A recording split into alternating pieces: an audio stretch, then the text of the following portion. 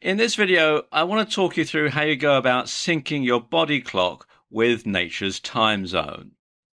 Now, this graph here is basically a graphical representation of typical energy levels throughout an average day on a scale of 1 to 10. It's not based on anything scientific, it's just there to give you an idea as to the sort of energy levels that most people have over an average day.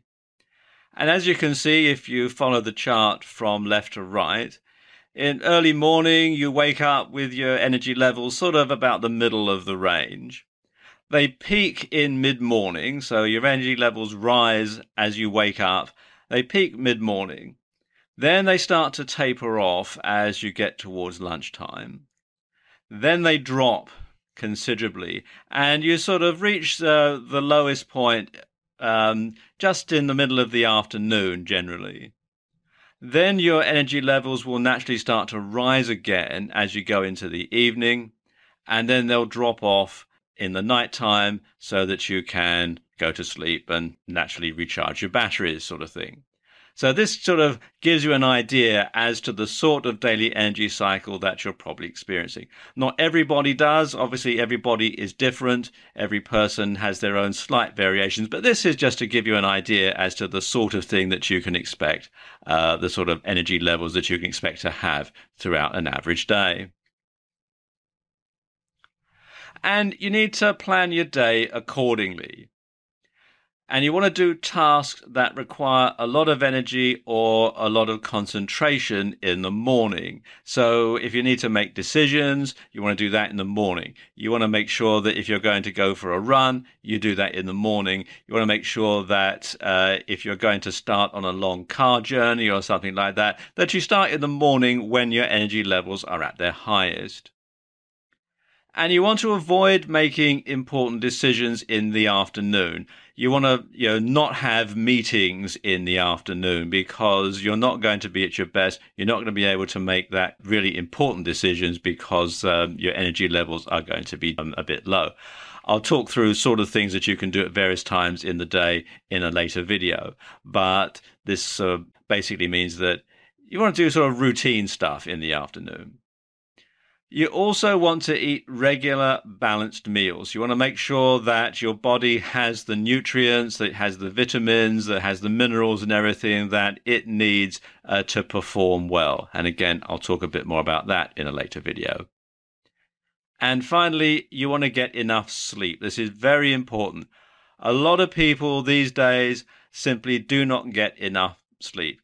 Yeah, start the day early uh, before you've really had enough sleep, work hard all day long, stay up late, and then wake up tired. And the whole thing just becomes a vicious circle. When you're not getting enough sleep, your energy levels are, although they're following the same sort of curve as we showed in the earlier slide, uh, they're not actually going to be high enough. And so when you for example, your energy starts to dip in the afternoon, uh, it's going to dip a lot more than it really should do.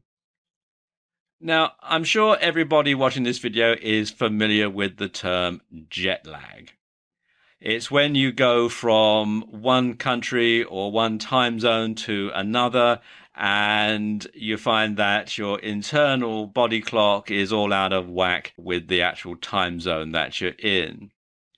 So if you're going from, say, the US to Europe, or you're going from the US to Australia, and that's even more difficult because you actually cross the international date line, so you're even a day out as well. Uh, you might find that you experience symptoms like daytime fatigue. You might find it to be very difficult concentrating or functioning at your usual level. You get a general feeling of not really being well and it can bring about mood changes, generally for the worse. You feel really irritable and tired and cranky. Now, the thing is, your lifestyle, your modern lifestyle, may be making you permanently jet lagged because your internal body clock is out of sync with the time zone that you're in on purpose because you are not following the sort of natural rhythm that goes through the day. And you may be experiencing some of the symptoms that I've just talked about. And the way to get round that is to get enough sleep. You know, getting enough sleep is really important. And everyone's need for sleep is different. You've probably heard it said that you should uh, sleep eight hours a night.